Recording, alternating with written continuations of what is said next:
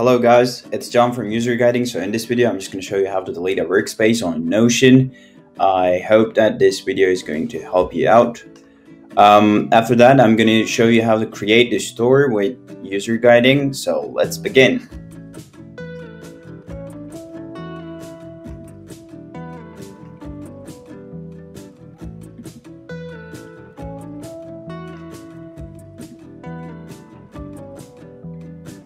So this is it. If you click here, your works on workspace is gone. Now it's time to create this store with the UserGuiding. So let's just begin. Let's go with the first step here. Right, we're gonna choose a tooltip and then we want to use this one, create from scratch tooltip. Well, you can use other things as well but for this use case, I'm just gonna go with this one.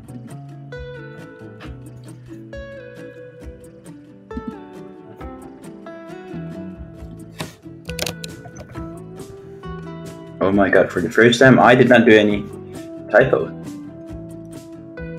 Nice. Right, we want to proceed when the element is chosen. So we're gonna pick this option save it. Alright, the next step.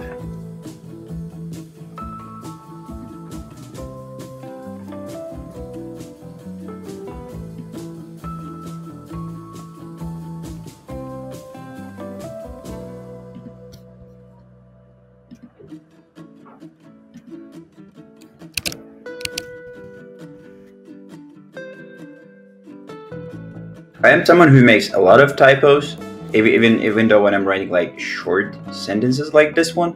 So today I'm really on fire. Like I'm, I'm perfect. Right, we're gonna do the same thing here. Just save it.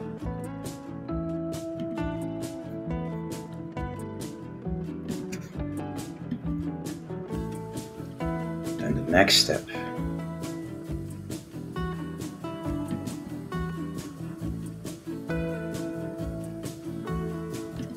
Boom. This is how we delete it. Delete with the caps.